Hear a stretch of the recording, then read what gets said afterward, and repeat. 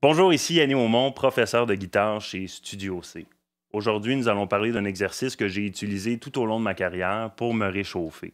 C'est un exercice chromatique qu'on va jouer sur la première corde pour commencer.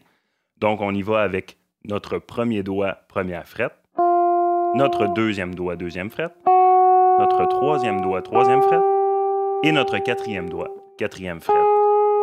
Par la suite, une fois ceci exécuté, on s'en va un demi-ton plus haut et on répète le même exercice. Donc, premier doigt, deuxième doigt, troisième doigt, quatrième doigt, etc. en montant. Donc, il est très important ici de garder chacun des doigts contre la frette tout au long de l'exercice, de lever seulement lorsqu'on va tasser d'un demi-ton. Aussi, à noter, il faut piquer avec notre main droite de façon alternée. Donc, on ne veut pas piquer chacune des notes dans le même sens. On veut à la fois travailler la main gauche et la main droite, notre technique alternée.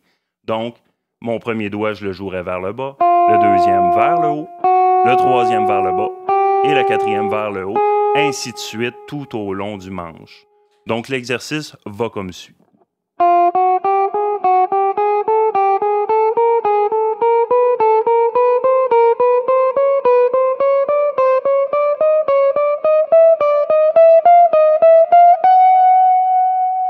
Exercice que vous pouvez faire sur chacune des cordes. Par la suite, vous allez avoir réchauffé chacune de vos mains de façon adéquate.